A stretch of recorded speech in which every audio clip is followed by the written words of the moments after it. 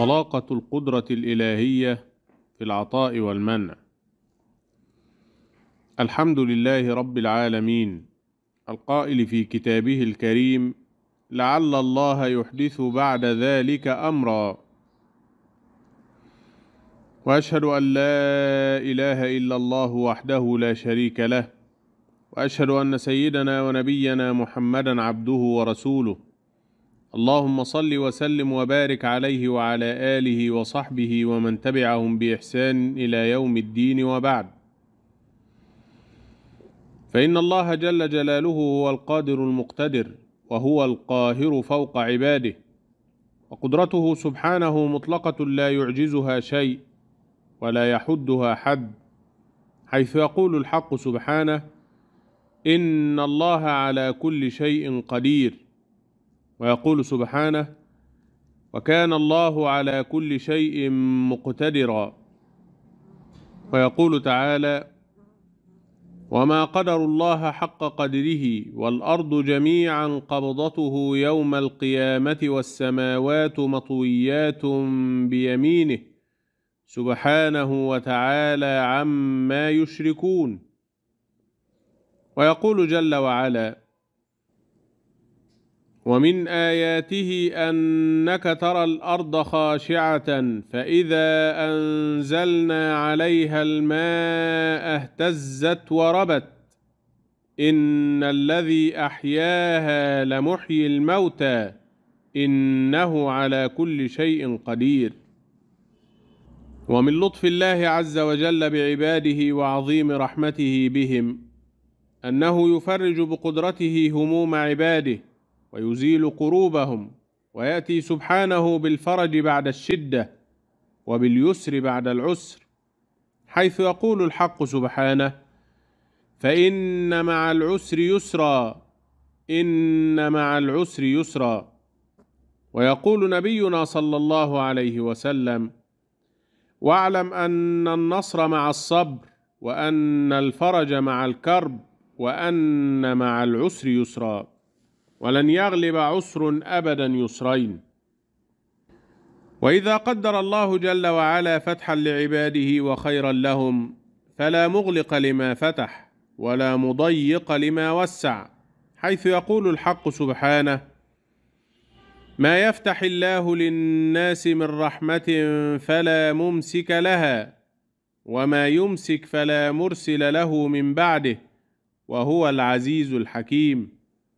ويقول سبحانه إني توكلت على الله ربي وربكم ما من دابة إلا هو آخذ بناصيتها إن ربي على صراط مستقيم. فإذا أغلقت على الإنسان الأبواب وضاقت به السبل وبلغت به الشدة منتهاها فليلجأ إلى ربه ومولاه. ليفتح له أبواب رحمته ويرزقه بقدرته المطلقة من حيث لا يحتسب حيث يقول الحق سبحانه ومن يتق الله يجعل له مخرجا ويرزقه من حيث لا يحتسب ويقول سبحانه أليس الله بكاف عبده؟ ويخوفونك بالذين من دونه ومن يضلل الله فما له من هاد ومن يهد الله فما له من مضل أليس الله بعزيز ذي انتقام؟ ويقول سيدنا عبد الله بن مسعود رضي الله عنه لو كان العسر في جحر لدخل عليه اليسر حتى يخرجه. والمتأمل في القرآن الكريم يجد قوله سبحانه لعل الله يحدث بعد ذلك أمرا وهي آية تفتح كل أبواب الفرج. فمهما كانت هموم الإنسان ومشاكله وأحزانه وأمراضه مهما كانت العقبات التي تقف في طريقه مهما كانت التحديات التي تواجهه فلا بد أن يتذكر لعل الله يحدث بعد ذلك أمرا. وليتذكر أن أمره سبحانه إذا أراد شيئا أن يقول له كن فيكون فليلجأ إلى ربه ويلزم بابه. والثقة في طلاقة قدرة الحق جل وعلا سنة الأنبياء والمرسلين. وإجابته سبحانه دعاء الداعين وتفريجه بقدرته هموم المهمومين سنة الكريم جل وعلا في خلقه حيث يقول الحق سبحانه أمن خلق السماوات والأرض وأنزل لكم من السماء ماء فأنبتنا به حدائق ذات بهجة ما كان لكم أن تنبتوا شجرها أإله مع الله؟ بل هم قوم يعدلون. أمن جعل الأرض قرارا وجعل خلالها أنهارا وجعل لها رواسي وجعل بين البحرين حاجزا. أإله مع الله بل أكثرهم لا يعلمون.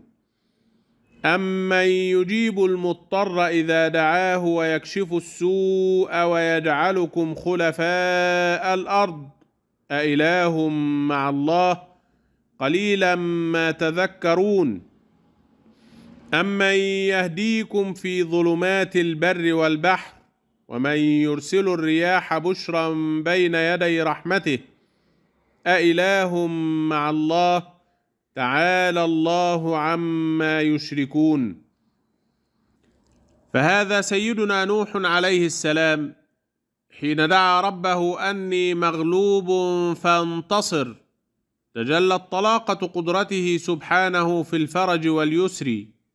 ففتحنا أبواب السماء بماء منهمر. وفجرنا الأرض عيونا فالتقى الماء على أمر قد قدر. وحملناه على ذات ألواح ودسر. تجري بأعيننا جزاء لمن كان كفر. ولقد تركناها آية فهل من مدكر؟ ثم تجلت طلاقة قدرته سبحانه في إعادة حالة السكون والاستقرار. وقيل يا أرض بلعي ماءك ويا سماء أقلعي وغيض الماء وقضي الأمر واستوت على الجودي. وقيل بعدا للقوم الظالمين. وهذا سيدنا يونس عليه السلام يدعو ربه في شدته وهو في بطن الحوت. فتتجلى قدرته سبحانه في إزالة الهم والغم.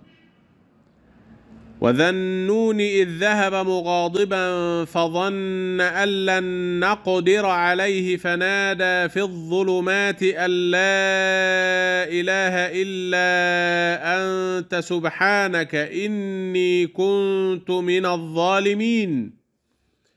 فاستجبنا له. ونجيناه من الغم وكذلك ننجي المؤمنين.